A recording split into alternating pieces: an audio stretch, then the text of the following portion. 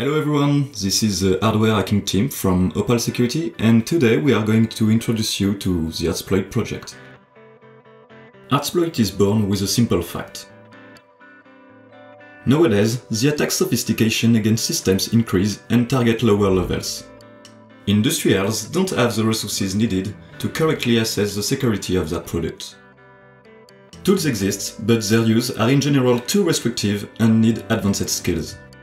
That's why we have created Hardsploit, an auditing tool to read the content of memory chips such as SPI, I2C, UART, parallel memory, and JTAG. Our ambition is to provide a complete and modular framework, easy to use, giving quick results, and all that with minimal skills in electronics. The Hardsploit board. It measures 20 by 9 cm and can be plugged to any computer with an USB port. With its 64 input-output pins, Hardsploit allows you to connect a large number of electronic components. Each pin has a corresponding LED used to help you wire your chip to Hardsploit.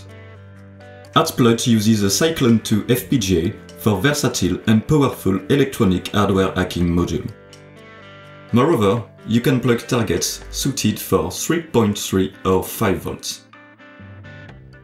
To fully exploit the power of the Hardsploit board, we have created a graphical interface that is divided in several modules. First, the Component Manager. It will allow you to add the useful characteristics of your electronic component in order to use it efficiently with Hardsploit.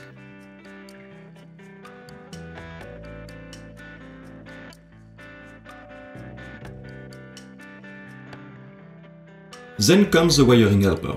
This module will help you connect quickly and easily your electronic component to Hardsploit. The fear of wrongly connect a wire is over.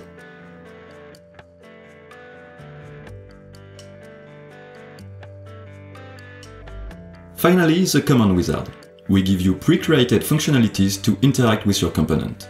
But if it's not enough for you, you can create and manage your own commands by yourself.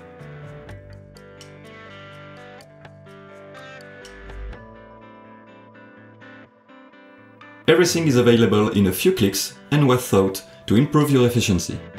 For more information about Hardsploit, visit our website at hardsploit.io and don't hesitate to watch our other videos.